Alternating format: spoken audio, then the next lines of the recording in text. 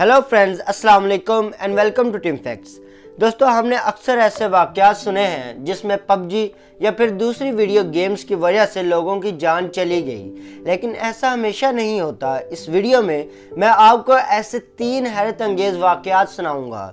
جب پب جی یا دوسری ویڈیو گیمز کی وجہ سے لوگوں کی جان بچ گئی۔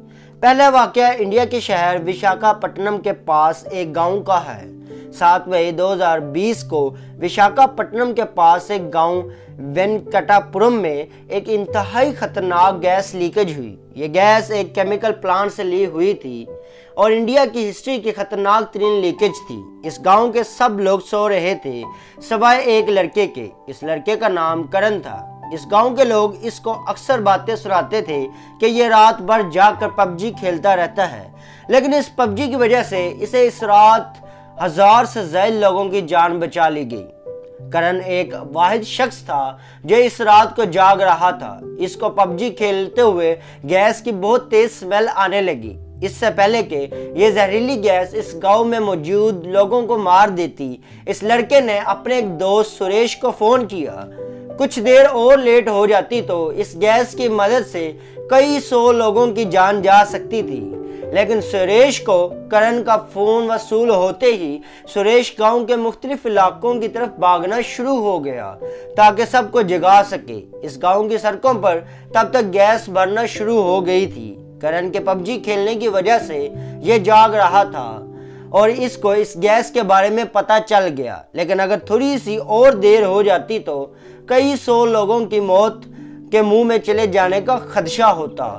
کرن اپنے گاؤں میں ہیرو بن گیا اور اس کی پب جی کھیلنے کی بہت تعریفیں کی گئیں۔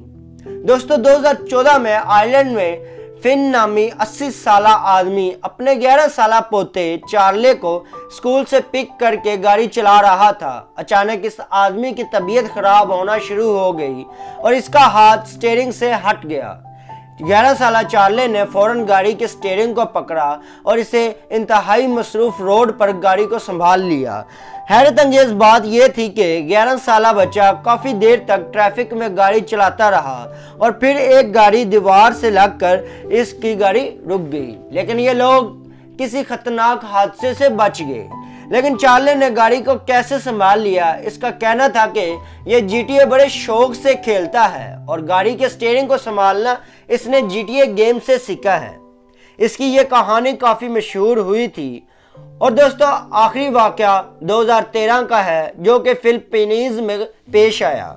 جب ایک بارہ سالہ بچہ جورج ڈاربن اپنے دوستوں کے ساتھ سڑکوں پر گھوم رہا تھا اچانک اس کو سڑک پر ایک چیز پڑی ہوئی نظر آئی۔ یہ گرینیڈ تھا جو پھٹ سکتا تھا۔ اس بچے کو یہ دیکھ کر خیال آیا کہ یہی چیز اس نے کاؤنٹر سٹرائک گیم میں بھی دیکھی ہے اور یہ پھٹ سکتی ہے۔ اسی گیم کی وجہ سے اس نے فوراً اس گرینیڈ کو زمین پر رکھ دیا اور پولیس کو اطلاع دے دی، ورنہ کوئی بہت بڑا حادثہ ہو سکتا تھا۔